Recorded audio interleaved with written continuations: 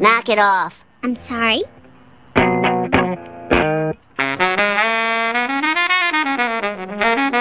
Knock it off! I was just jamming with you.